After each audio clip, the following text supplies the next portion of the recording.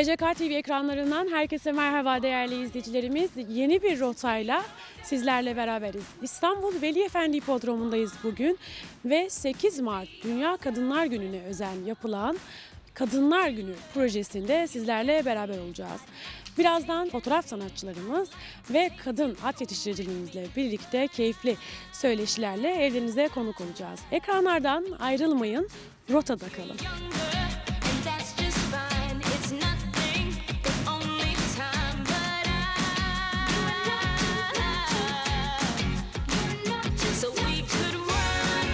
Evet değerli izleyicilerimiz şimdi de programımızın ilk konuğu Türkiye Jockey Kulübü aslı üyesi sevgili Duygu Fatura ile beraberiz. Merhaba Duygu Hanım. Merhabalar.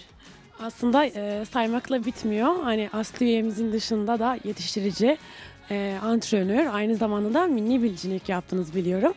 E, nasıl bir serüven, yarışçılık e, nasıl başladı diyebiliriz? Biraz bize anlatabilir misiniz Duygu Hanım? Ee, tabii önce aslında atlar nasıl başladı diyelim. Atlar çocukluktan başladı. Ee, belki bir aile geleneği.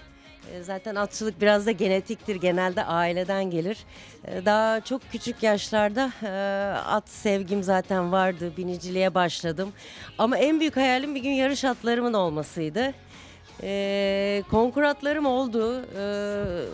Uzun yıllar e, konkur atlarıyla yarıştım ama yarış atımın olması için biraz zaman geçmesi gerekti. Ee, ama dediğim gibi insan bir şeyi çok hayal ederse oluyormuş gerçekten. Ee, ve bir yerlerden başladım.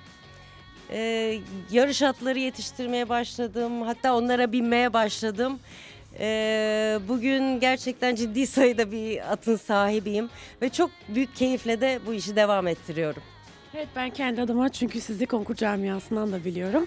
Uzun yıllar orada binicilik yaptınız.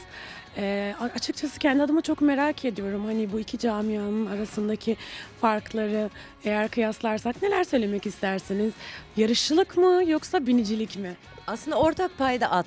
At sevgisi olduğu zaman ikisi de benim gözümde çok e, üst yerlerde. Ee, yarışçılık da çok güzel, ayrı bir tutku, ayrı bir adrenalin, ayrı bir heyecan, ayrı bir keyif. Ee, binicilik, ben engel atlama dalında yarıştım. O da ayrı bir heyecan, ayrı bir keyif. İkisini inanın birbirinden ayır, ayıramıyorum. Ama zannediyorum şu anda önceliğim yarışta.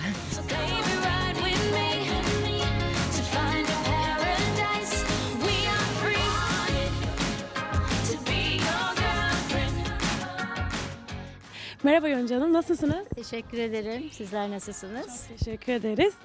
Ee, kısaca sizi bir tanıyabilir miyiz? İzleyicilerimize kendinizi tanıtabilir misiniz? Tabii ki. Ee, ben e, amatör fotoğrafçıyım. 8 yıldır fotoğraf çekiyorum. Ee, ancak önce sokak fotoğrafçılığıyla başladım. Ee, daha sonra e, şu anda Türkiye Jockey Kulübü'nün düzenlediği e, Emekçi Kadınlar Günü sebebiyle bir e, anlamlı projesi var. E, şu anda onun için buradayım. E, çok keyifli. E, öncelikle teşekkür ediyorum ve bu projeye katkı sağlamaktan dolayı da çok mutluyum. Önce e, biraz sizden e, zaten tarzınızla alakalı e, konuşmak istiyorum. Ben de biraz inceledim. Dediğiniz gibi sokak konsepti ve daha çok doğal şeyler vardı. Bir de yanılmıyorsam siyah beyaz çok kul- kullanıyorsunuz fotoğraflarınızda. Hani takip ettiğiniz bir akım veya bir tarzınız varsa sizden dinlemek isteriz. Siyah beyaz e, çekiyorum evet E, fakat renkliyi de çok tercih ediyorum. Özellikle e, atmosferler renkliyi gerektiriyorsa e, renkliyi tereddütsüz kullanıyorum. E, daha çok e, sokak fotoğrafından ziyade artık e, projelere ve belgesel fotoğrafçılığa doğru yol alıyorum. E, son dönemlerdeki çalışmalarımda o şekilde belgesel fotoğrafçıları takip ediyorum. Peki yanılmıyorsam Türkiye Jockey Kulübü ile ilk defa bir e, işbirliği içindesiniz. E, nasıl değerlendirdiniz, nasıl buldunuz kulübümüzü, okulumuzu, atlarla olan ilişkiniz nasıl oldu? Biraz da kısaca onlardan bahsederseniz seviniriz. Tabii ki ilk defa evet e, Türkiye Jockey Kulübü'nde bulunuyorum. E, doğrusunu söylemem gerekirse e, içeri adım attığım ilk andan itibaren e, huzurlu bir ortama geldiğimi fark ettim. E, apayrı bir atmosferi var buranın. E, atların o e, pozitif e, enerjisi mi diyeyim, e, e, buradaki atmosfer mi diyeyim çok keyifli. E, dolayısıyla e, çok e, mutluyum bugün burada olmaktan. E, ve de güzel birlikte çekimlerimizi gerçekleştiriyoruz.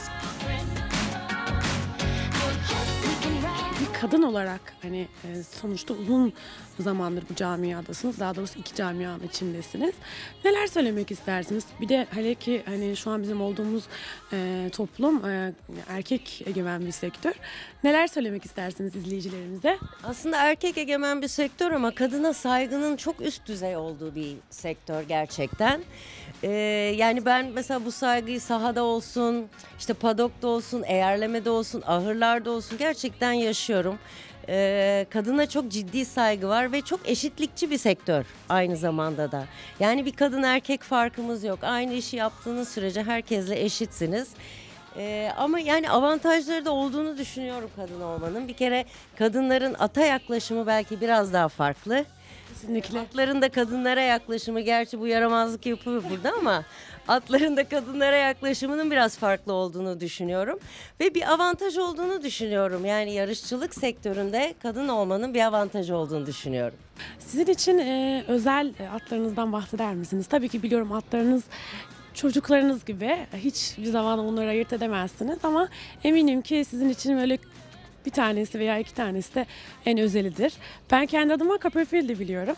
E, sizden alalım birkaç kelime. Evet Copperfield e, son dönemde bizi çok mutlu eden, çok keyiflendiren bir e, atımızdı koştuğu dönemde.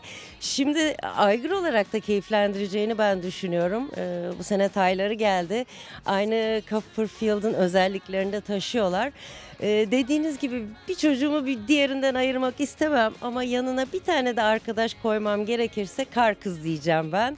E, kar kız da gerçekten hayranları olan, e, çok yürekli, boyu posu belki o fazla olmayan ama yüreği dağlar kadar olan bir kısraktı. Onun da çok güzel yarışları olmuştu. E, O da bizi çok keyiflendirmişti. E, Copperfield'la kar kızı ayrı bir kenara koyayım. Peki teşekkür ederiz. E, şimdi biliyoruz ki zaten projemizde kadınlar e, kadınlara özel bir proje. Safkanlar arasında e, dişi ve erkek safkanları e, sizin yani gözünüzden neler söyle, söyleyebilirsiniz bize farkları yani sonuçta biliyoruz kadınlar gününde de sadece e, diş- dişi safkanlar mücadele ediyor. Neler söyleyeceksiniz bize? E, Valla e, aslında kadın ve erkeğin ve dişi at ile erkek atın birlikte yarıştığı, birlikte yaptığı tek spor binicilik ve yarış. Yani biliyorsunuz kadın erkek gerçekten ayrılmıyor. Ne binici olarak ne at olarak.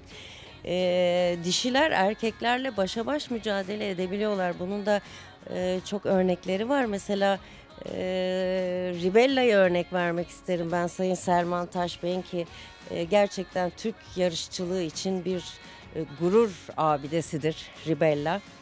E, bir kadın olarak da e, bilmiyorum siz de aynı şeyleri yaşıyor musunuz ama ben mesela bazen bir yarışta tek kısrak oluyor ve o kısrak gidiyor kazanıyor çok hoşuma gidiyor. Evet, o farklı bir duygu zaten. Hoşuma gidiyor ve dişi atlarda gerçekten e, göze göz, dişe diş erkeklerle birlikte yarışıyorlar ve onlara üstün oldukları zamanlar da oluyor. E, onun için ben bir ayrım yapmak istemiyorum ama dişi atlar kazandığında da bir parça daha seviniyorum galiba. Teşekkür ederiz. Peki son olarak size böyle bir sorum olacak. Ee, şimdi camiamızda çalışan artık bir sürü kadın var. Hepimiz ben dahil. Siz de uzun süredir zaten bu camiadasınız. Ee, tavsiye küçük bir hani e, yani sizden bir tavsiyeniz varsa alalım hemen izleyicilerimize. Tabii az önce de söylediğim gibi cinsiyet eşitçiliğinin üst düzey olduğu bir yer burası. Bu camia gerçekten kadın ve erkek son derece eşit. E, Hiçbir şekilde bir farkları yok. Onun için e, bence bizim tek eksiğimiz biraz kadın sayısının az olması. Ama artıyor.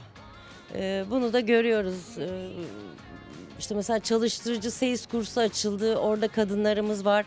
Apprenti okulunda yanılmıyorsam bir arkadaşımız var. E, profesyonel ola- olarak at binen, at çalıştıran e, Zülfiye Bulut var. Ama bu sayının daha da artması lazım. Ve ben eminim ileriki yıllarda çok daha artacaktır. Çok daha fazla kadın bu işe gönül verecektir. Çok daha fazla kadın at sahibi olacaktır. E, o zaman hem daha kalite yükselecek hem ortam belki daha keyifli olacak. E, hem de rekabet artacak diye düşünüyorum. Projeyle alakalı neler düşünüyorsunuz? Siz de sonuçta bir e, kadın emekçi olarak yıllar boyunca çalıştınız. Bizim de projemiz çünkü ona e, bağdaştırıyoruz biliyorsunuz e, kadınlarla alakalı. Neler söylemek istersiniz bize? E, çok anlamlı buluyorum. E, Emekçi Kadınlar Günü'nde böyle bir şeyi düşünülmüş olmasını e, takdirle karşılıyorum. E, kadınların e, emekçi mücadelesi, dayanışması, gücü her alanda e, devam etmeli. E, onu burada da e, görmek beni e, inanılmaz heyecanlandırdı. E, zaten e, adı üstünde Emekçi Kadınlar Günü. E, burada e, bu alanda e, kadınlarımızın e, at sahipleri olsun, jokeylerimiz olsun, diğer bütün e, çalışanlarıyla bu sektörde e, yer almaları ve e, daha çok erkeğin e, gücü gibi görünmüş olmasına rağmen e, burada e, o gücü fazlasıyla gösteren e, tüm kadınlarımızın da e, bu mücadelelerini, bu alanda yer almalarını yürekten alkışlıyorum. Teşekkür ederiz. Son olarak da e, biraz önce zaten e, çekimlerinizi gerçekleştirdiniz. E, sizin objektifinizden atları görmek nasıldı? Zaten birazdan izleyeceğiz de e, sergimizde de izleyeceğiz ama biraz da sizden alalım. E, yani sesli olarak. Ee, çok güzel bir kere çok duygusallar, çok estetikler, e, güçlüler, inatçılar. Ben e, onu fark ettim burada. Ee, daha yakinen e, atlarla ilk kez yakın olduğum için de bunu e, hep düşünürdüm hakikaten. Ee, başka bir iletişimleri var sanki. Ee, güçlerini hissettiriyorlar.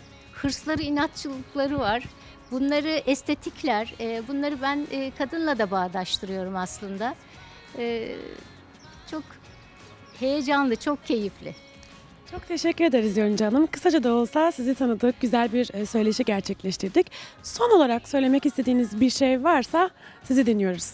Ben tekrar e, bugün e, burada olmaktan e, mutlu olduğumu belirtmek istiyorum. E, bütün çalışanlara, e, emeği geçenlere çok teşekkür ediyorum ve e, 8 Mart e, Emekçi Kadınlar Günü'nü de kutluyorum. to be